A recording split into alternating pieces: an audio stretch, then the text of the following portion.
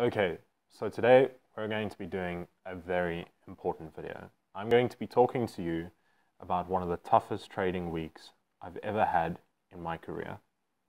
Stay tuned and you're going to find out exactly how I came out on top and made it the best week I've ever had.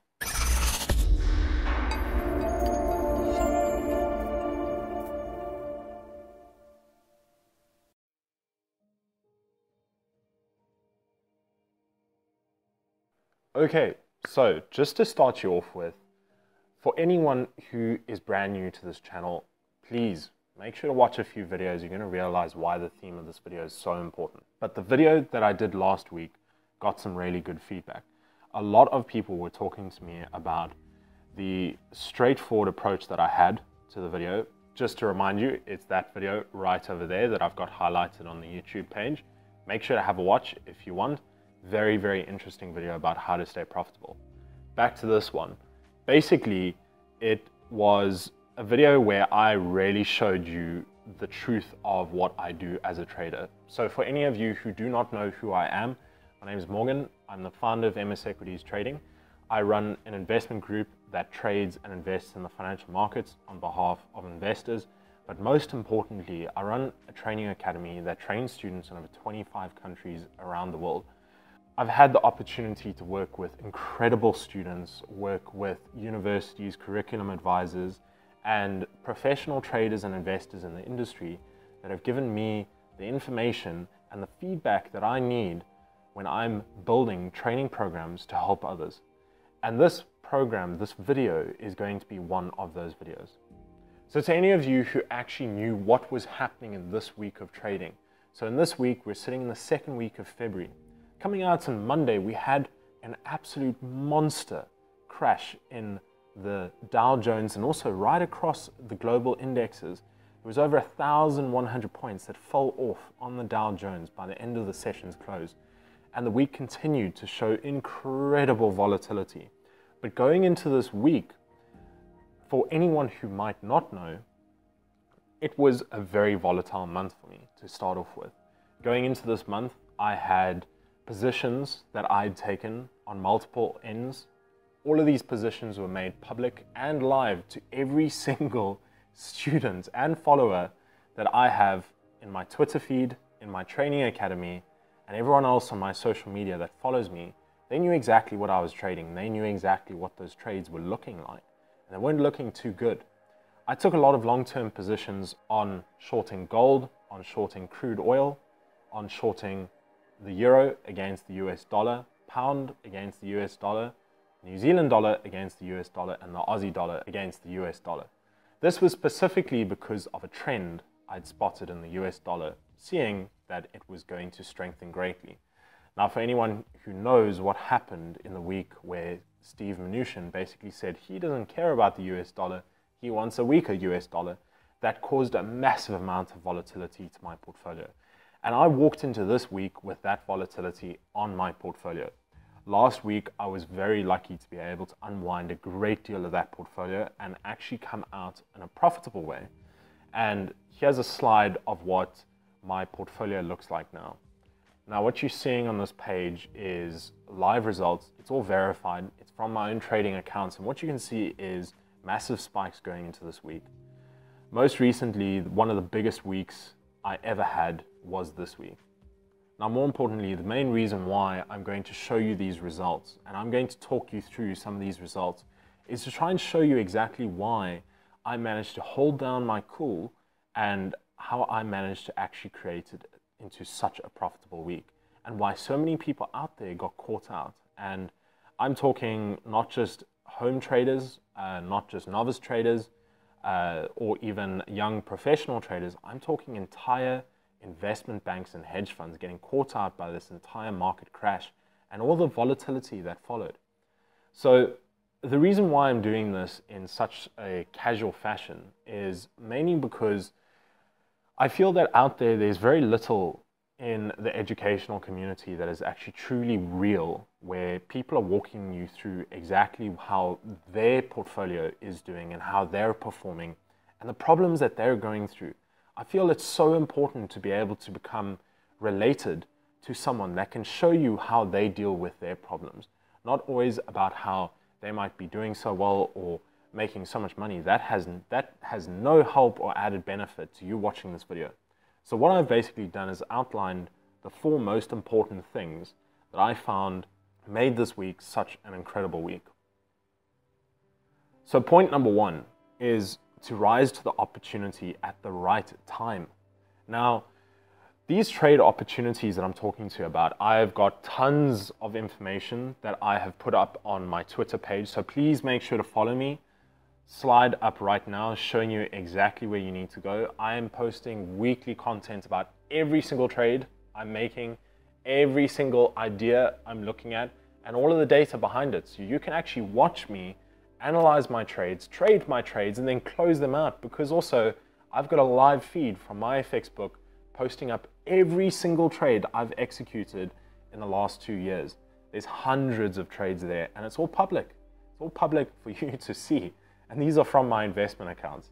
So, you know, it's not a demo account, it's not a small account, it's lots of money that I'm risking in the financial markets myself and on behalf of my investors.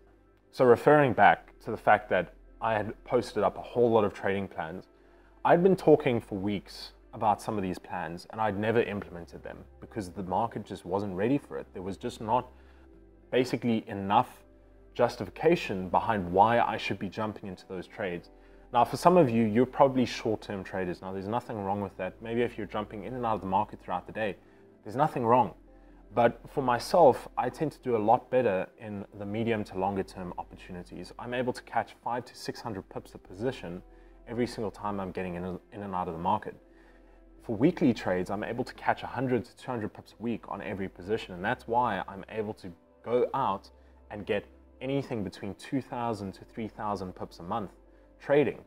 Because I'm taking that longer term approach, I'm able to risk a lot less on my capital and I'm able to find more strategic positions that I can build into and get out of. But most importantly is I have to rise to the occasion when the time is right. It's not about rising to the occasion when you think you want to make money. Someone that I had a meeting with this week talked to me about how he calls them Nintendo traders, almost like they just come home from work and they jump onto the trading platform, almost like it's a Nintendo game, and they just jump into a few trades because they want to either feel included in the market or might be bored or fear of missing out, or even they might have just been away from the market and they feel that having a few positions in the market makes them feel better. And usually these positions don't go very well for them. Now, that's the most important aspect that I have to enforce upon you. And this week showed us exactly what timing means. It showed us that timing is most important when you're looking for days and weeks like this where the market has been more volatile this week than in the last 10 years of trading. Now, that is something serious to tell you. So, in the last 10 years, we have never experienced this since the 2008 financial crisis. Now, that is saying a lot. So, timing is probably most important. That's what I really prime these opportunities for. And when I watch these opportunities build into the, the previous weeks, getting ready for these opportunities and trading my way into them, I knew that this week, given seeing all of that volatility hit the market, it was my time to get out of the positions I wanted to get out of and hold or add to the positions I knew would benefit from these volatile times during this week. So the biggest one that is point number two, so these are not really in chronological order, but point number two I feel is most important, is trust in your system's success. Now, to some of you watching this video, it's going to be difficult because you might not have a system, you might not even know what system you should be using. Either you might have a system, but it's not working. Now, this is a problem because what I'm trying to say to you is don't believe in your system because belief doesn't make you money at all, but trust that it's going to work if you know it does. For the systems that I've built and implemented, and also the systems that I teach all of my students, it's the exact same systems. I've been able to take time to backtest these systems over many, many years. And I've been able to build these extensive systems that I'm able to trust and I'm able to understand when the market should move and when it shouldn't move. And more importantly, if something goes against me, I'm able to judge by the movement of the market against the system that I put in place on that trade and be able to justify whether the position is basically broken and going to go against me and lose me money, or if the position is just causing a, a, a serious extension against what I thought the trend would be, but is probably going to move back within the possible range or move towards the trend that I expected, I need to be able to trust my system. And for myself, the systems that I implemented in the past couple trades that resulted in the profits for this week were the systems that I've used most. They're the systems I absolutely love using. All of my students know of these systems. And one of the systems that I make use of, which you can also make use of, is in this video right here. I've actually uploaded this video twice. The first video had some uh, sound problems. The music was a bit too loud. So I re-uploaded it, but it's a very, very nice and important video that you need to watch that you can also use to implement in your trading success. But most importantly, trusting in your system is vital. So the next point is about a bit of a analogy that I'm going to relate to trading. And I basically wrote down here saying, see the, see the car glide through the turn before it happens. Now, this is really difficult because as a trader, you're basically trading based on predictions. You're not trading based on history. You're trading not knowing where the price is going to move. Obviously, we are able to come up with a very justified understanding of where we think the market is going to move. And sometimes we like to think we can expect the market to move in certain directions. But for us, we're trade, basically trading, not knowing what might happen next. But we have to trust and understand that we're going to get through that corner that is most desirable to our success. Now, this comes back to a system of belief. And it's not about believing in your system, in your own trading. It's more about believing in the decisions you're going to make. If you have a very good process for yourself of building into your decisions, making decisions, and you're able to trust that you're going to do the right thing, then you're obviously going to have great mental fortitude behind being able to see the turn occur before you actually get there. Now, if you have a challenge with this, that's the most important thing you need to work on. You perhaps need to work on spending some time to self evaluate and assess how you believe in yourself, how you believe in your potential and your skills, or you'd be able to take the time to speak to either a performance coach or even take some time to speak to a psychologist and talk to them about how you'd be able to create a better mental fortitude to help with your trading success. Now, being able to visualize things that are going to happen that possibly might not happen is also very important. It's about having a mindset that you're able to create the future that you desire and able to attract the potential of the success that you desire as well. Now, as a trader, it's very important because having this is not just a driving factor for you, but it's also a very healthy factor. So, being able to spend your time understanding in the market and believing that you know what you're doing and you have confidence to make decisions also means that you're not going to get scared when you land up in volatile times. You're not going to get angry when you land up doing something wrong or losing money. You're just going to regather your thoughts and get back in the market when you have the time available and when you have the opportunity. Now, the most important one, which I really have to relate back to my trading track record. So, for a lot of you that may have not noticed, I usually carry a very, very low maximal drawdown. And my realized maximal drawdowns, which basically means the positions that I've closed out, have basically never exceeded 0.2% on one of my latest portfolios. So the portfolio that you're looking at right now is one of my latest, more conservative portfolios that I've decided to open up. This portfolio for me is very important because I want to make sure that I'm not going to lose cap my own capital or my investor capital. But most importantly, I also need to make sure that I'm able to maintain those maximal drawdowns to a minimal level. But as you can see, my drawdown rose to 9.63%. And that doesn't mean that I lost 9.63% of the account. That just means I landed up in an extreme level where the market moved far against me and I basically had an unrealized loss of 9% on my account. Now, that is bad. I never wanted to go through something like that before. I never wanted to go through something like that again.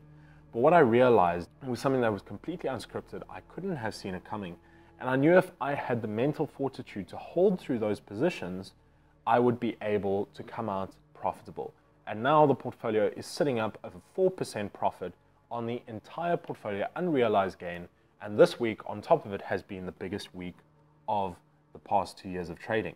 But if I didn't have that mental fortitude, I wouldn't have never been able to make money. I would have actually lost a ton of money. And that's really bad. But the reason why, the reason behind why I was able to do this was point number four think, meditate, calm yourself. Think, meditate, calm yourself. Vital. You need to focus on thinking. A thinking man is important, or a thinking woman, should I say as well, because I also know I've got females that watch these videos. But you need to make sure you get good at thinking. You need to make sure you get good at being able to process your thoughts on a consistent basis and process them well. For myself, I have a trader's journal and I write down every single comment that I make in my head that I think is going to either make me money, lose me money, or anything behind opening or closing trades. I've got every single piece of information right by my side and I walk everywhere with this right with me. No matter where I go, I always make sure I have either this or something else that I can use to take notes whenever I need to. Being able to take my thoughts, take what I think about, and put them on paper makes it a lot easier to translate into actual return. That is very important, and that's what you need to do. Become that thinking person. Write down all of your thoughts, put them on paper, and turn them into a, re a reality. The most important part, step one, of turning your thoughts into a, a reality is writing them down. Step two is being able to process them, think over them, and find a way to make them better. Step three is to be able to communicate them, being able to talk to people about your ideas and have the justification that you are going to succeed. Step four is to implement them and to actually make them happen. That's very important. But something that you also need to remember is meditation. Now, don't get me wrong, I'm not talking about going and crossing your legs and humming for 30, 40 minutes, because believe me, I'd probably die if I had to do that. I'd really struggle to get up after crossing my legs like that. I just seriously, hip problems. But what I'm trying to say is meditation has to do with calming yourself. Making yourself quiet and make, putting yourself in a position where you don't need to worry about what's happening around you. So we have a very, very busy lifestyle as traders. But most importantly, what you need to do is take the time to just calm yourself, sit back, relax, and just give yourself five to 10 minutes of focus, five to 10 minutes of calming everything inside of your head and just focusing on one thing. Now, most importantly, when I talk about focusing on one thing, something that works very well is to focus on your breathing. And literally just focusing and thinking to yourself, breathe in, breathe out. And you just focus on doing that. Close your eyes, and just do that for five to 10 minutes. Even if you have thoughts running through your head, I mean, I'm ADD, so believe me, meditating is tough. Meditating is, it's not easy for me, but I still meditate. Being able to do this at least centers your mind before and after every trading session. So for myself, I get at least 10 minutes every day before the trading session starts and after the trading session ends. And this helps me center myself and be, being able to let go of whatever happened during that day, good or bad, and just be able to neutralize myself. Being able to create a neutral standing in the office, in your trading and your portfolios, means that you're not going to be driven by any bad things happening. You're not going to be driven by emotion, anger, anything behind it. And you're not also going to be driven by brash thoughts, which men, we like to make very often. This is actually an interesting thing. I've started to find that women tend to take much more calculated thoughts, whereas my male students tend to make more brash uh, actions. And this is something I really need to focus on is we're known as men to try and make the decision and get going with it. Whereas now we need to focus on taking more time to think and digest that information. Calming yourself. Now, calming yourself is important, and this is why. Because if you're unhappy, if you're angry, if you're driven by emotion, if you're driven by anything toxic or negative or bad, you're not going to do very well in the office. Now, people think that when you are driven by rage or energy or this, that, and the next thing, you have the drive to succeed or take over. Yes, well, you know, if you're in a boxing match or you know someone runs into your house that's not supposed to be there and you need to take them on, then yes, be driven by that energy. But when when you're sitting in front of a trading platform and you're sitting in front of a keyboard crunching the numbers, risking your own money, you need to stay calm. And that's very important. For being able to stay calm, you would be able to center yourself once again. So after the meditating, being able to stay calm throughout the trading day, whatever happens, happens. You have your process, you have your systems, and you know what you need to do. Even if you don't know what you're doing, get out of the positions and find a way to reassess what you're doing, reevaluate, and learn from what you just did, but do it in a calm fashion. Don't do it in an angry way because then you're not going to absorb the knowledge of being able to learn and revise on what you just did. And then the last point inside point number four is don't carry emotion into the capital that you're risking. Don't try and worry about the capital that you might make, might not make, might lose, might throw away, the capital that you forget to allocate, the capital that you allocate too much. It's all about money. And that's a problem behind trading because trading should not be about money because people drive their emotion into parts of things that they are doing. It's difficult, it's part of human nature. If I go and do something, I want to put my energy and my emotion into it. But the problem is, people put their energy and emotion into the complete wrong things. Now, as a trader, the most important part of your day is planning. It's not trading, it's planning. And you need to realize that. The most important aspect of what you do is planning your trades, making sure that you've got the right systems in place, that you know what you're doing, you know what the political risks are, you know what the economic risks are, the technical risks, you've had a look at all of the factors, and you know what you need to do next. Now, driven by emotion, these things can become somewhat clouded. Sometimes you can forget to do certain things and you can forget to focus on where you should be allocating your time to. Now, a lot of people try and allocate emotion and focus to money. But there's one major problem about this. Money does not have emotion towards us. Money does not have emotion at all.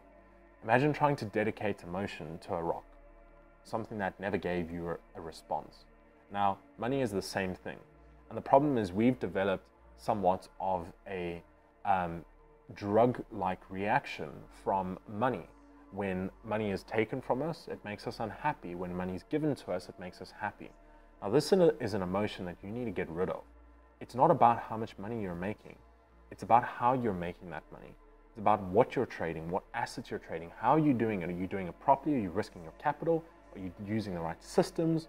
Do you actually implement your strategies? Are you writing it down? Do you feel good about yourself? Are you meditating? Are you staying calm? Are you being fulfilled? Now, what I can assure you of is money is never going to fulfill you, ever. It's never going to. So find a way to do this, do it properly, and learn to love it. And that is when you will become an incredible trader. And you'll be able to get through weeks like this and you'll be able to come out on top being a successful person.